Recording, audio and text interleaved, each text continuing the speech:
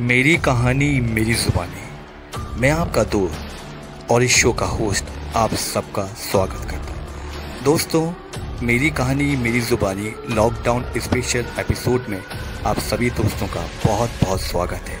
एक तरीके मेरी कहानी मेरी जुबानी। अस्सलाम वालेकुम नमस्कार, आदाब, सत श्री अकाल। मैं आपका दोस्त और इस शो का होस्ट। हमारे शो का नाम है मेरी कहानी मेरी ज़ुबानी। दोस्तों, आज हमारे शो से जुड़ गए हैं बॉलीवुड के जाने माने अभिनेता फ़ेमस एक्टर राजा कापसे जी राजा कापसे जी के बारे में बता दूँ, राजा कापसे जी एक बहुत ही होनहार कलाकार हैं, बहुत ही प्यारे एक्टर हैं और एक, कहते हैं, ज़िंदा दिल इंसान हैं। बस उनकी ज़ुबान पे हमेशा एक ही नाम रहता है, राधे राधे। वो हर इंसान को राधे राधे करते हुए बहुत ही प्यारा उनका है, अंदाज़ बड़ा निराला है, राधे राधे करने का। तो दोस्तों, मैं भी उससे बहुत प्रभावित हुआ हूँ, मैं बहुत खुश होता हूँ जब वो मुझसे बोलते हैं, राधे राधे खान साहब। तो आज हमारे साथ जुड़ गए हैं, राधे राधे, राजा कापसे जी। दोस्तों, मैं राजा कापसे जी के बारे में बता दूँ। राजा कापसे जी ने अभी तक बहुत सारी हिंदी फ़िल्मों में काम किया है, साथ ही साथ भोजपुरी फ़िल्मों में काम किया है, कई बड़े सीरियलों में काम किया है और मेरे साथ उन्होंने दो फ़िल्में की हैं, जिसमें से एक फ़िल्म विवश, जिस मेरे साथ है, जिसमें वो मेरे साथ मेरे बड़े गुरु बने हैं, जिसमें और साथ ही साथ किराए मेलट सावधान इंडिया, ऐसे तमाम सीरियल मेरे साथ किए हैं। तो राजा कापसे जी, आपका हमारे शो मेरी कहानी, मेरी ज़ुबानी में स्वागत है वेलकम है। तो हम सबसे पहले आपसे जानना चाहेंगे कि आप इस लॉकडाउन में कैसे अपने आप को टाइम अपना काट रहे हैं? किस तरीके से क्या क्या कर रहे हैं? तो शुरू कीजिए आप अपने स्टाइल में। राधे राधे। सबसे पहले तो मैं सबको नमस्कार करना चाहूँगा। ये बड़ा ही विकट परिस्थिति का समय है। लॉकडाउन चल रहा है और जहाँ तक मेरा सवाल है घर पर रहने का तो मैं घर पर बहुत इंजॉय कर रहा हूँ। वो सारे काम कर रहा हूँ जो मैं सच में करना चाहता हूँ। जैसे मेरी जो रुचि है, मेरे जो इंटरेस्ट है, पहला तो मैं शास्त्रीय संगीत सीख रहा हूँ। तो मैं अपने राग हैं, सारे गामा पथा निशा और स्वर हैं, उनके आलाप भी हैं, उन सबको लेकर मैं अभ्यास करता रहता हूँ। सबसे पहले सुबह उठता हूँ तो मेरा एक्सरसाइज वॉकिंग की है जो मैं शूटिंग के समय पर नहीं कर पाता हूँ तो मैं अब डेली समय पर करता हूँ। सुबह जल्दी उठना, फिर स्वरों का अभ्यास, उसके बाद मैं आनंद लेता हूँ, आराम से सोने का। दिन में एक डेढ़ घंटे सोता हूँ। हाँ रात में जल्दी सो जाता हूँ, सुबह जल्दी उठता हूँ। तो सारे मेरा रूटीन वर्क इस वक्त बहुत अच्छा चल रहा है। मुझे बुक्स पढ़ने का बहुत शौक मैं थोड़ा सा आध्यात्मिक हूँ तो वो सारी बुक्स पढ़ता हूँ। मुझे इस वक्त बहुत समय मिल रहा है। तो मैं जो काम अपने शूटिंग टाइम पर, काम के समय पर नहीं कर पाता था, आज मैं वो सब कर रहा हूँ और बहुत एंजॉय कर रहा हूँ। राजा कापसे जी, ये जो गवर्नमेंट ने लॉकडाउन लगाया है, ये सारा कुछ लॉकडाउन कर दिया है, सब कुछ बंद कर दिया है, इसमें आपकी क्या राय गवर्नमेंट ने सही किया लॉकडाउन करके या गलत किया है? मेरे अंदाज से सही क्या? आपकी क्या राय? हम और हमारे दर्शक जानना चाहेंगे। गवर्नमेंट ने लॉकडाउन का जो डिसीज़न लिया है, वो बहुत अच्छा है।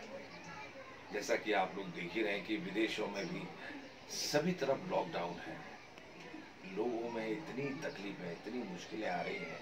जीना इतना मुश्किल हो गया है, देश और विदेश में हर जगह। तो हमारी गवर्नमेंट का ये जो लॉकडाउन का फैसला है, ये बिल्कुल सही है।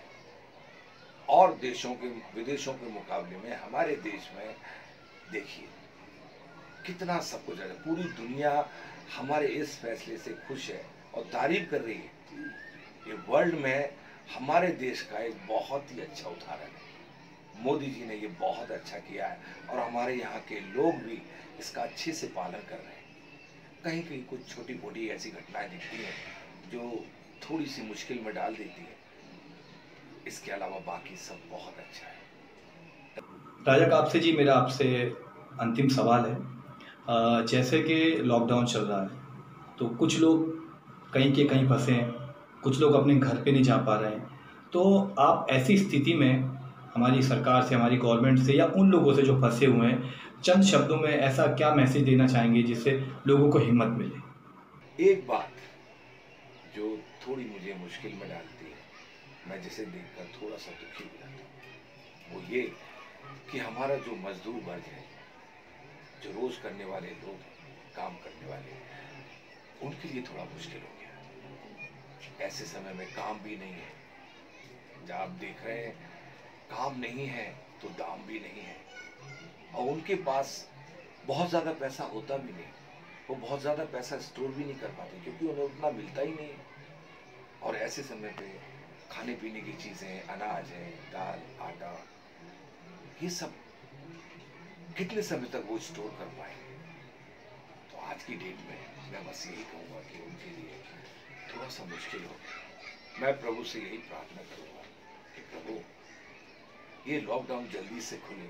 सबसे पहले इस कोरोना जैसी महामारी का कोई इलाज निकले। तो इलाज निकलेगा तो धीरे धीरे सब ठीक होने लगेगा। बस इतना ही कहना चाहूँगा।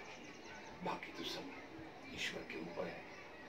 राधे तो दोस्तों, ये थे राजा कापसे जी बॉलीवुड एक्टर जाने माने फ़ेमस एक्टर राजा कापसे जी, आपका हमारे शो में आने के लिए बहुत बहुत धन्यवाद बहुत बहुत शुक्रिया कि आपने अपना कीमती समय निकाल के हमारे शो में आए। थैंक यू वेरी मच मैं और मेरी टीम आपको धन्यवाद देती है। तो दोस्तों, अब मुझे दीजिए इजाज़त। खुश रहिए, खुशहाल रहिए, आसपास का माहौल साफ़ रखिए और अपने हाथ साबुन से बार बार धोते रहिए और सोशल डिस्टेंसिंग का पूरा ख्याल रखिए। घर से बाहर मत जाइए। और सबसे बड़ी बात कहना चाहूँगा, कोरोना के जो मरीज़ हैं, जो पेशेंट हैं, उनसे भेदभाव मत कीजिए, उनसे प्यार कीजिए और उनका साथ दीजिए। सोशल डिस्टेंसिंग के साथ। क्योंकि वो घिन करने के लिए नहीं है। उनसे दूरी बनाने के लिए बोला गया, लेकिन उनसे नफरत करने के लिए नहीं बोला गया। तो इसलिए उनसे प्यार कीजिए, उनको सपोर्ट कीजिए, तभी वो जल्दी अच्छे हो जाएँगे और ये कोरोना हमेशा हमेशा के लिए हमारे देश, हमारे हिंदुस्तान इस संसार से बाहर चला जाएगा। जय हिंद, जय महाराष्ट्र एंड नमस्कार।